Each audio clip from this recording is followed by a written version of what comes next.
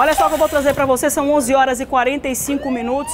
O último envolvido no latrocínio de um carpinteiro no ano de 2016 dentro de um ônibus foi preso. Outros três homens que participaram do crime já estão na Secretaria de Administração Penitenciária. Quem tem as informações direto da delegacia especializada em roubos e furtos e defraudações e traz pra gente os detalhes dessa última prisão é o Bruno Fonseca. Bruno. Olá, Márcia, é isso mesmo. O último envolvido na morte, na verdade, do latrocínio de um carpinteiro em 2016, foi preso pela polícia nesta segunda-feira no bairro do Santo Agostinho.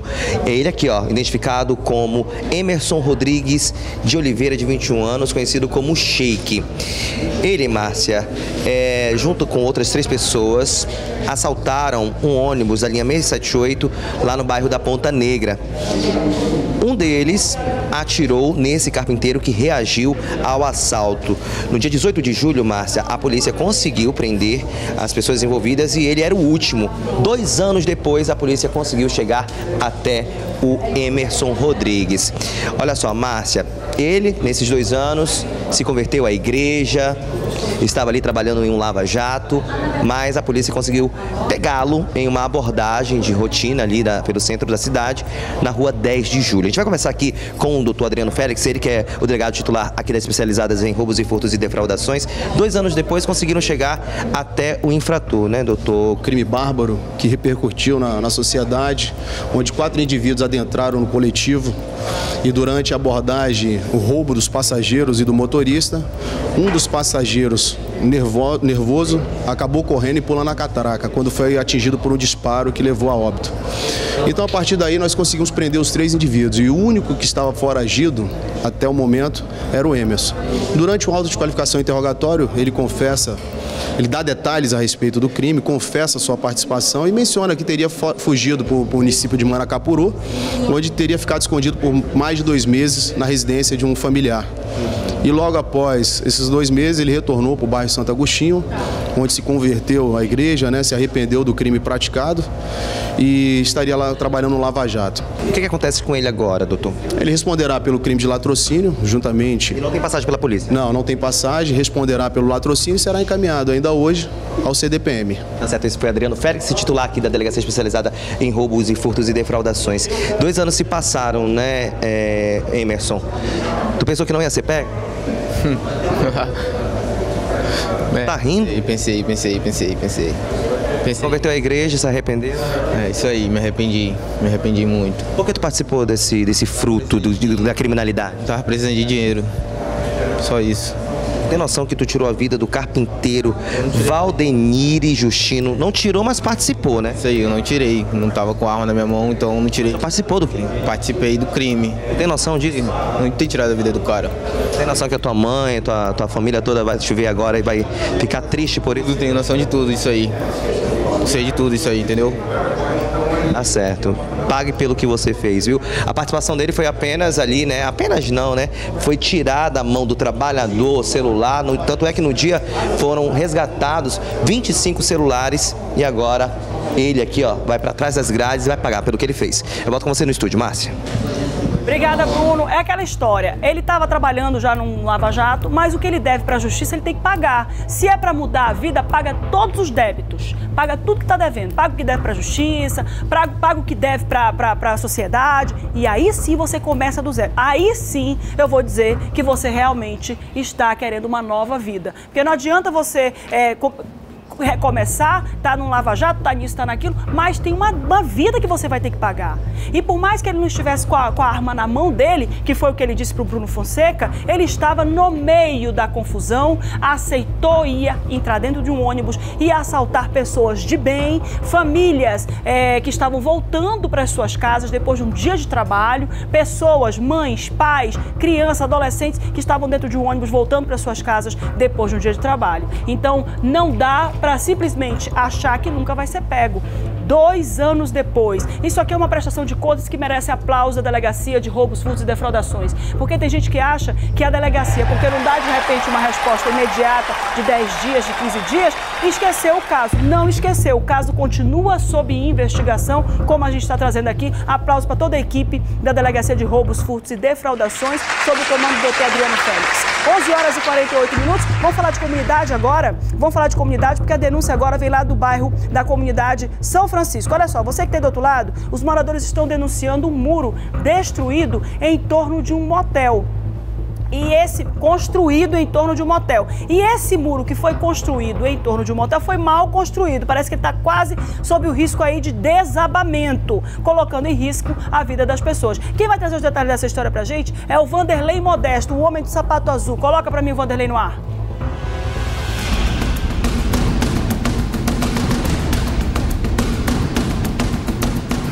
Imagens de Vinícius Modesto, reportagem de Vanderlei Modesto, homem do sapato azul, Embaixo de chuva, o programa agora está chegando ao Beco Planalto, bairro São Francisco, atrás de um motel famoso da cidade. Esse motel fica na André Araújo, na principal avenida do Aleixo. Olha só o muro, como é que está. Está enviesado, precisa cair. Olha só, esse comércio que tinha aqui já desabou devido à enxurrada, devido o muro está construído de maneira errada. E você resolveu procurar o programa agora por quê? Por causa dessa situação, né, de que, que eles tomam providência, né? Mas não tá fácil, rapaz. A nossa reivindicação aqui é todo mundo tá aflito, né? Por causa desse muro, a gente, a gente teme a cair em cima das nossas casas, entendeu? Então eles fizeram assim, eles acharam que fizeram uma boa ação para a comunidade, mas assim, eu acho que faltou um pouco de engenharia, né? por estar esse muro assim já tombando pro, pro lado da nossa casa. Minha sogra já caiu, o barranco já caiu em cima da casa dela já. Aí tá prejudicando a gente. Agora as casas, elas estão longe do muro, que eu vou apelidar muro de Berlim, a pouco mais de 10 metros. Se esse muro cair, vai cair em cima de todas essas casas aqui e vai com certeza é afetar alguém, vai causar um grande acidente. E as pessoas aqui têm crianças, como é o caso dessa senhora aqui, olha, que está com criança aqui e o muro em cima da casa dela, olha o muro todo rachado, mostra aí. Isso aqui são rachaduras do muro. Senhora, é, a senhora tem quantos filhos? Tenho quatro. Quatro filhos? Isso. Tudo pequeno? Tudo pequeno. Como é que é ser vizinha desse muro que eu tô com medo de estar tá aqui? Mano, é difícil, né? Porque a gente não dorme mais direito, né? Com medo do muro vir abaixo. Como o senhor pode ver que tá, tá tudo torto e tá tudo rachado. Eu, pelo menos, eu, eu passo a noite todo dia olhando pra ver se o muro já não caiu, né? Porque a gente fica aqui inseguro, né? Por causa do muro. Olha só, olha aqui, olha. A distância do muro aqui, mostra aqui o muro, Vinícius, aqui. Olha aqui. A distância do muro aqui para casa senhora, é meio difícil ficar aqui. Olha a criança recém-nascida aqui, gente. Um, dois, três, quatro, cinco, seis, sete. Aqui tem sete crianças. Tem.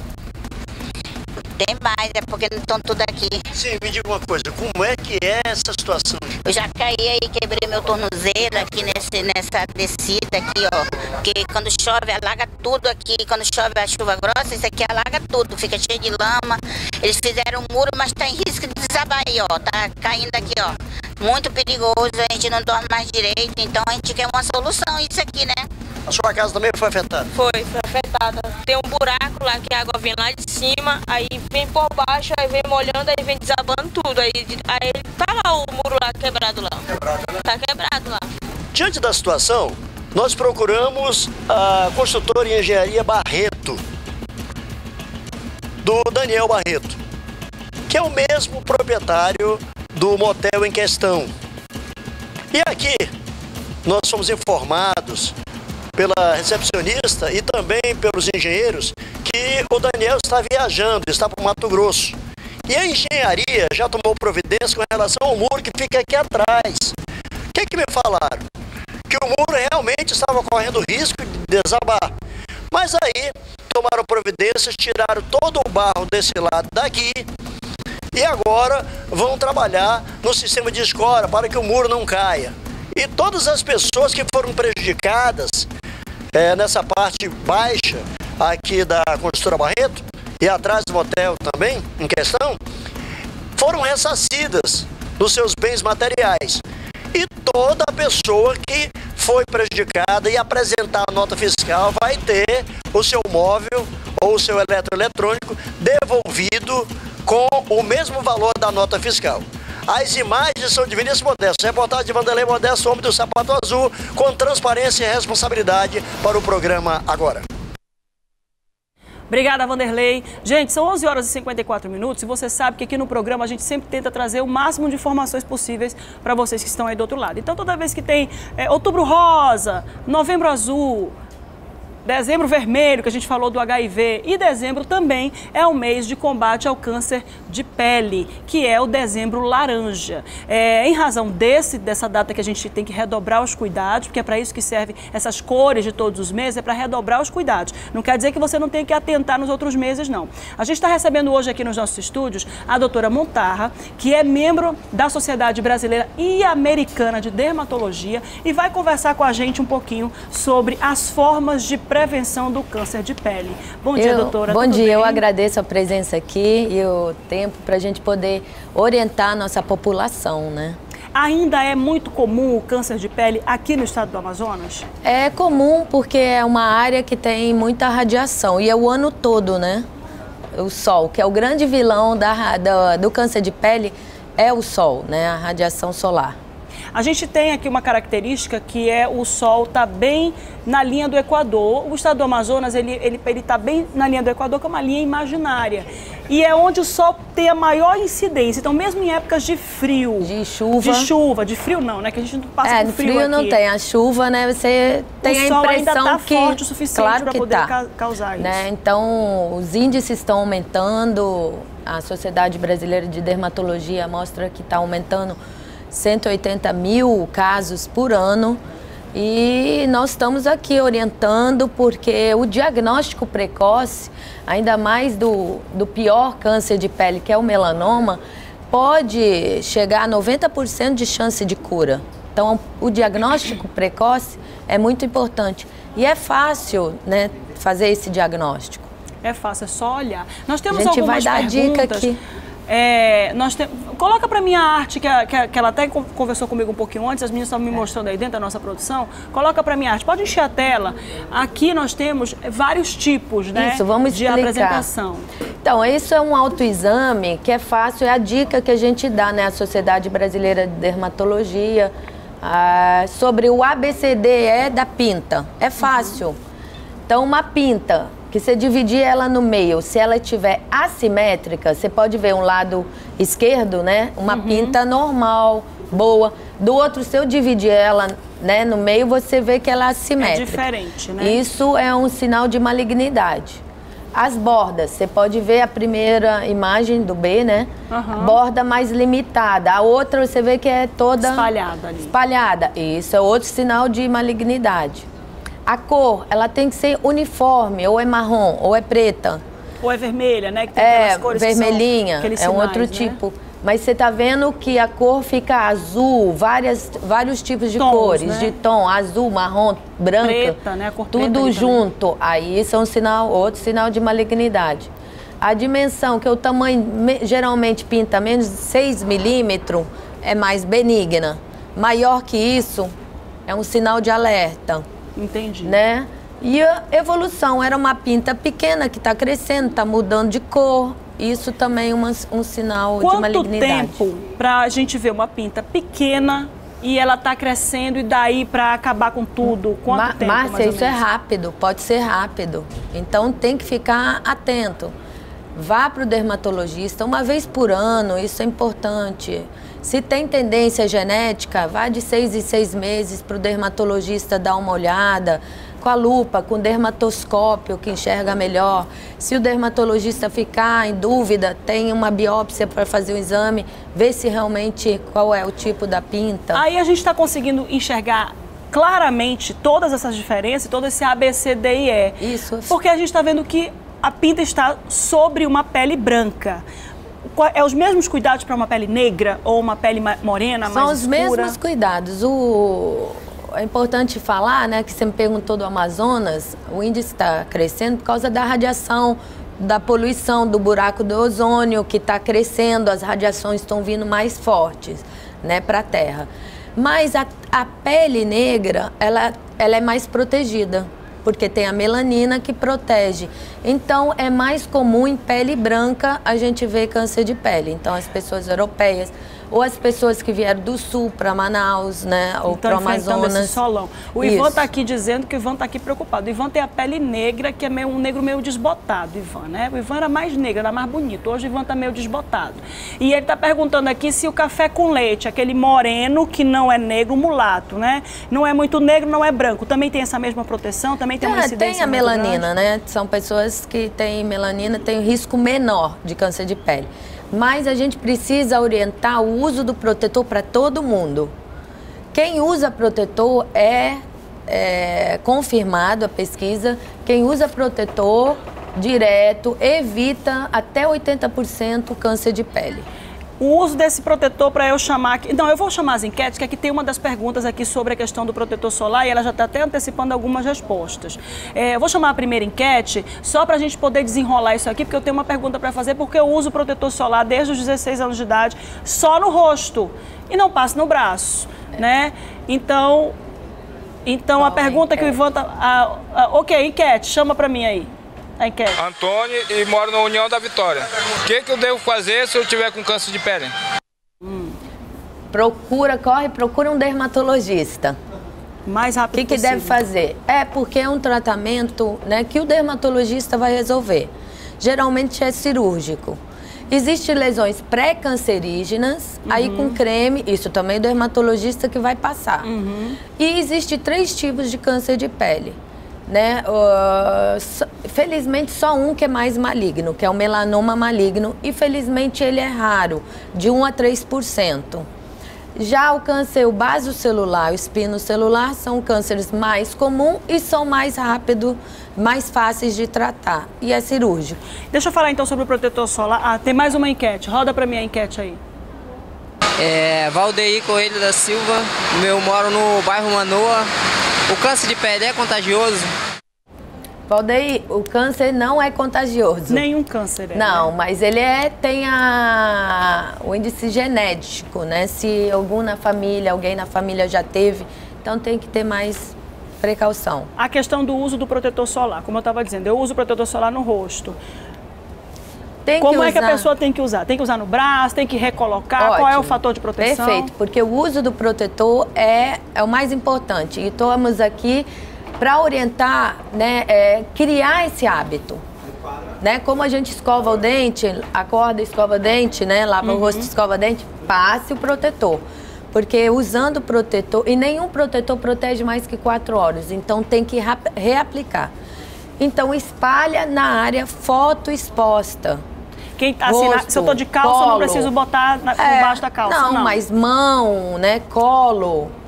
Pessoa que é braços. calva, orelha, dá muita é, índice, é, Orelha frequência também, de né? câncer de pele. Menino, nunca Porque a área orelha. foto exposta. Nós, mulher, né, temos o cabelo para proteger, mas e É. os homens?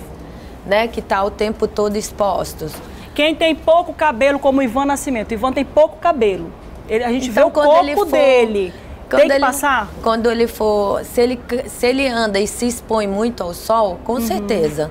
Usar boné, é, além do protetor, né, o boné, óculos. Hoje existem roupas contra radiações ultravioletas, Aham. né, que as crianças hoje a gente vai na, na Ok. praia, a gente vê usando. Então estão sendo informados, né, e orientados. Doutora Bontar, muito obrigada por ter vindo hoje aqui no nosso programa. Eu que viu? agradeço, Márcia. Trazido tantas informações pra gente, tá? O telefone para contato da doutora Montarra, você que quer obter qualquer outras, quaisquer outras informações, tá aí na tela. Eu não estou enxergando 98802 5970 e o 8802 5969. O Ivan está repetindo aqui para mim, por isso que eu estou falando assim lentamente. Muito obrigada, viu, Eu que doutora agradeço, Montarra? estou às ordens, tá? Tá bom. Olha, são 12 horas e 3 minutos. A gente vai voltar para a Delegacia Geral com a Gabriela Moreno, onde está acontecendo mais uma apresentação nesse momento. Gabriela Moreno, é com você.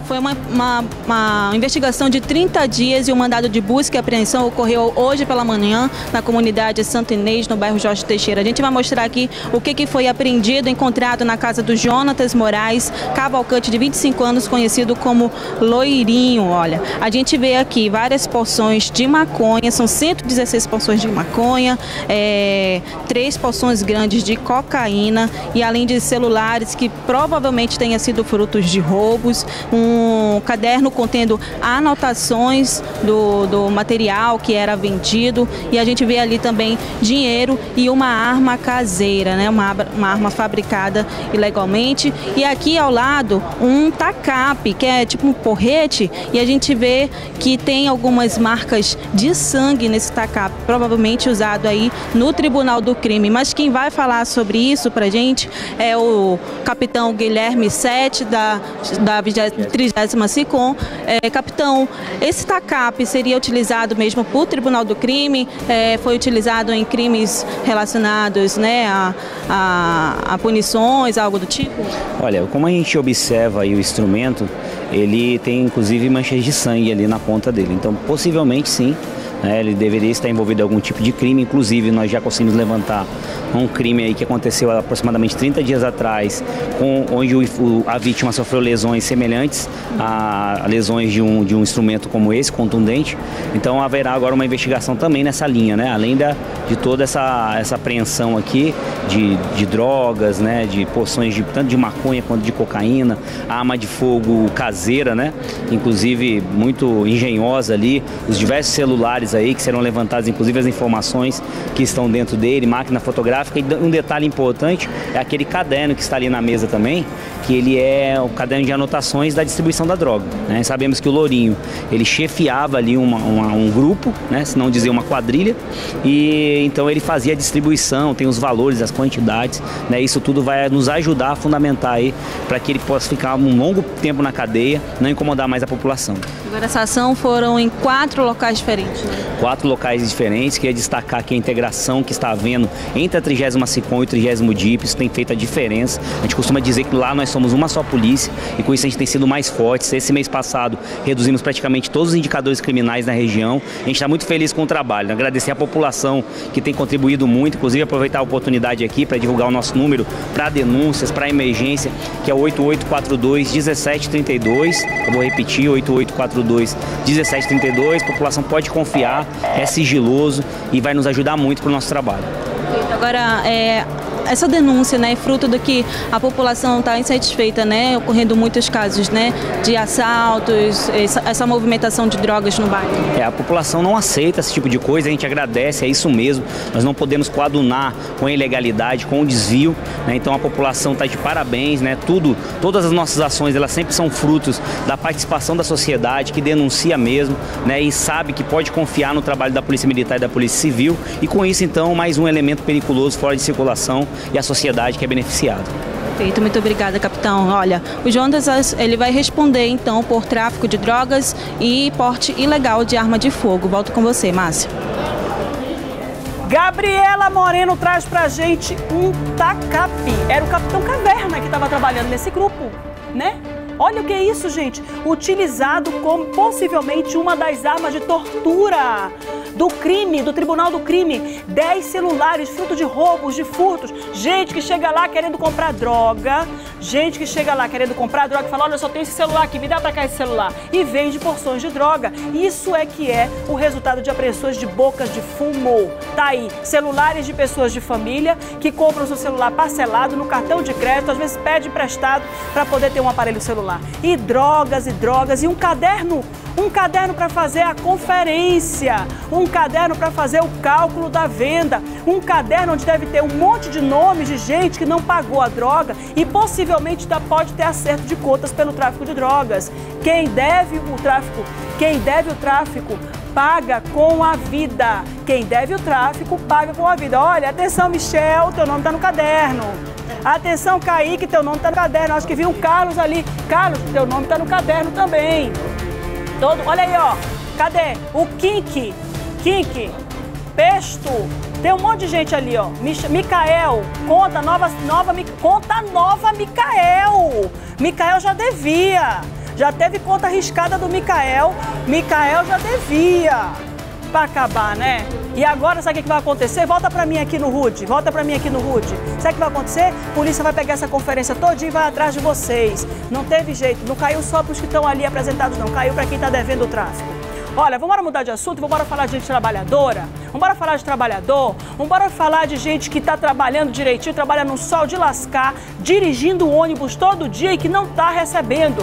Os rodoviários ainda não resolveram a situação do 13º salário. Com isso, a categoria ameaçou parar novamente. Bruno Fonseca, me conta como é que foi isso. Olá, Márcia, é isso mesmo. Em um vídeo que rodou a internet na tarde de ontem, o presidente do Sindicato dos Rodoviários, Givancir Oliveira, ele afirmou que não foi recebido para uma reunião marcada com o prefeito Arthur Vigílio Neto e representantes do Sinetran na sede da Prefeitura de Manaus. O assunto da reunião, Márcia, segundo Givancir, era o 13º salário e acordos da convenção coletiva que não estaria sendo cumprido. Ele falou ainda que os representantes do Sinetran afirmaram não ter o dinheiro suficiente para o pagamento. Por isso, a categoria indicou que pode ser realizada nos próximos dias uma nova greve, viu? A assessoria do Sinetran informou que não sabia de nenhuma reunião. A nota informa que a reunião estaria marcada para quinta-feira. Eu volto com você no estúdio. Obrigada, Bruno Fonseca. Na semana passada eles já haviam ameaçado e suspenderam a possibilidade de paralisação graças a essa reunião que não aconteceu. Vamos ver o que foi que o Givanci falou. Roda pra mim. É, bom dia a todos os rodoviários que estão, nas, que estão aí nos grupos. Né? Bom dia, boa tarde. Estou aqui na sede da prefeitura. Daqui a pouco está chegando os empresários. E a gente vai para essa reunião para discutir aqui o futuro da nossa categoria, né? Tendo em vista que ninguém aguenta mais de tanta humilhação. O fato é, se a gente não aceitar aqui a proposta do Sinetran e da prefeitura, quantos vão para a greve e quantos não vão furar a greve? Porque na última vez ficou 70% dentro da garagem dos trabalhadores e 30% fora da garagem. Então se a gente for para a greve, tem os covardes têm que sair de dentro da garagem e parar de puxar saco. Porque não dá para o sistema estar como está, é quando é plano de saúde, é pagamento, é vale, o décimo está aí, se atrasar o décimo também, como é que vai ser? Então a pergunta é, o sistema está pronto para uma greve geral de verdade? Não vai ter covardia por parte de alguns rodoviários. Então se todo mundo topar, eu estou dentro. Valeu. 12 horas e 11 minutos, a gente espera que isso não chegue nesse ponto, porque nós estamos no mês de Natal, gente que está tá, tá trabalhando temporário não pode atrasar e não pode perder o emprego. Eu espero que isso não se concretize realmente, viu? Olha, o deputado estadual eleito, Saulo Viana, foi preso na última sexta-feira pela Polícia Federal ele foi solto na manhã de hoje, porque a prisão temporária dele não foi prorrogada e também não foi convertida em prisão preventiva. O futuro parlamentar foi preso supostamente por suposto envolvimento em esquema de corrupção passiva e violação do sigilo funcional com informação de dentro do Tribunal Regional Eleitoral, segundo o TRE. Apesar de ter sido preso, o candidato eleito deve ser diplomado normalmente na próxima é, segunda-feira. A gente está vendo imagens dele aí, infelizmente está envolvido aí nesse escândalo do Tribunal Regional Eleitoral e a gente espera que isso tudo seja desenrolado, né? E que se tenha aí uma, um resultado que seja justo. 12 horas e 12 minutos. O que, é que a gente vai aprender no próximo bloco? A fazer uma torta de chocolate. chocolate pega a caneta, pega o papel, daqui a pouquinho o Ed vai ensinar pra gente. Ei, não sai daí não!